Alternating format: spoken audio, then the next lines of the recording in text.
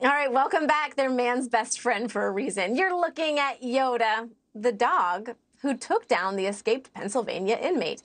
Police say Danelo Cavalcante was hiding in a barn armed with a rifle, and they let the dog loose, and he brought the fugitive to justice, subduing, subduing Cavalcante so officers could grab the rifle. He was on the run for almost two weeks. We have Chris here, who's been covering the story. Chris, am I right? Dogs just need to be in charge.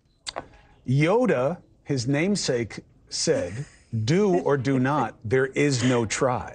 And he did exactly that. He went in there. Why? Because the guy was armed and dangerous. And the dog was sent out to yeah. do what we didn't want to risk a human life with. And he did it, and he did it well. You can't ask for more than that. That's why dogs, not cats, are man's best friend.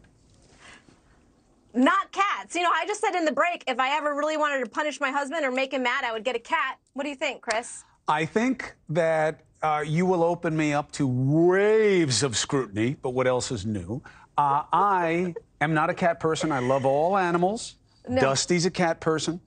I am a dog person. And I believe people fall into those two categories. And the only real offense is to say that your cat is like a dog. Your cat is not like a dog because only a dog is like a dog. And that's what cat people need to understand, but I wish them well. And if you say that your cat is like a dog, we will stick Yoda on you because, in my opinion, we need more Yodas in the world, perhaps less cats and then less cat people. I but like the guy. He's all the Yodas that... all go, no show, all walk, no talk. What's better than that?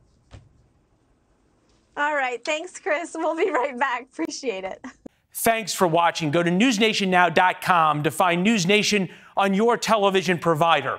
And don't forget to subscribe. Click the red button to get more of NewsNation's fact driven, unbiased coverage.